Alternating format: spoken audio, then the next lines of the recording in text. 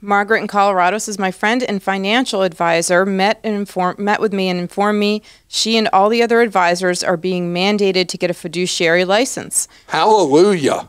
Because of this changeover, they will be going from charging fees to a cost of 1% of my conservative funds. I have three accounts with them, an IRA with a spouse benefit of around 100 and that's around 100,000, a Roth IRA um, about 100,000 and a transfer on death at $126,000. I read your article on Clark.com titled Should You Manage Your Own Portfolio? and it indicates that 1% is not outrageous. So, do I stay with them or should I switch to one of your three favorites? And if so, which one? I'll be paying double what I was paying, approximately $1,500 in fees versus $3,000 if I'm charged 1%. Please help. All right. So, how is it that you'll end up saving money paying more fees. Because when you're with a, a full commission stock brokerage, which this one historically has been, and now they're becoming a fiduciary relationship with you, they have historically put you in high cost funds and high cost investments because that made them the most money.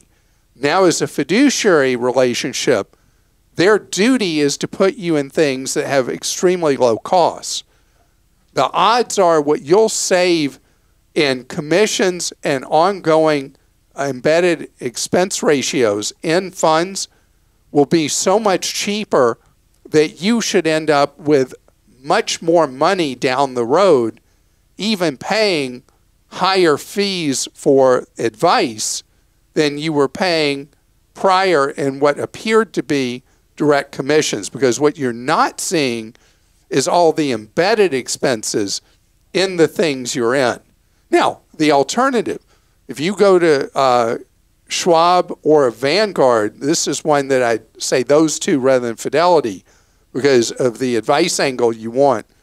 You will pay lower fees significantly and you'll be in a fiduciary relationship.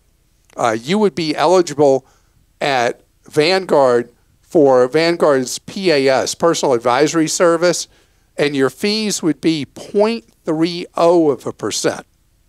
And you'd be getting the advice and guidance and placement and funds. So it would potentially be a much cheaper choice for you.